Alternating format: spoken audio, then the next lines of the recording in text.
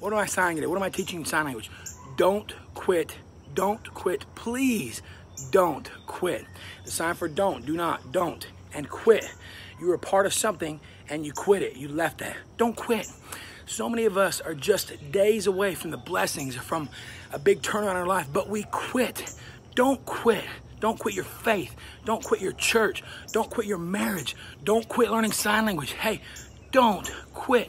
Tomorrow is just one day reach away, and God is already there. I made this video on these steps. See, there's a long journey up those steps. I'm not gonna quit. I'm working out this morning. I don't wanna quit. Hey, don't quit. There's always hope. There's always blessings for people that decide that they're not gonna quit. So don't quit today. Serve God, trust God, and make it a great day. Love y'all, and we'll see you next time. Hey, don't quit.